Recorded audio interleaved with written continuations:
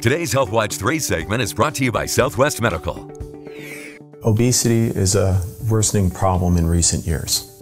The rate of obesity has tripled since the 1970s. In the United States presently, one out of five children are considered obese. In Nevada, one out of three children are considered overweight or obese. These children are at increased risk for asthma, diabetes, and joint problems. These children are also at an increased risk for developing adult obesity. The children can learn how to eat healthy and exercise and attempt to limit the amount of screen time are the first best steps.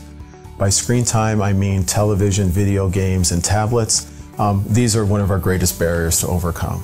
There's benefits with regular exercise. Uh, the children can have increased and improved uh, cardiorespiratory fitness. They can help control their weights.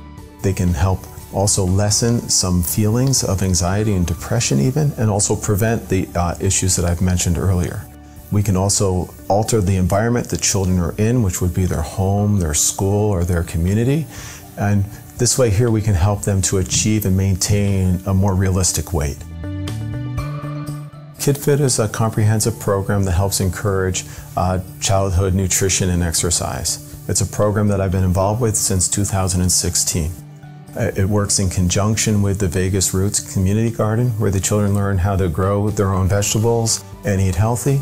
Overall, all the children have benefited and changed their habits towards eating and towards their exercise. Lastly, I'd just like to say that I'd like to share my passion for pediatrics with you and your family.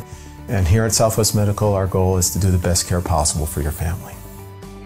For more healthcare resources, visit smalv.com.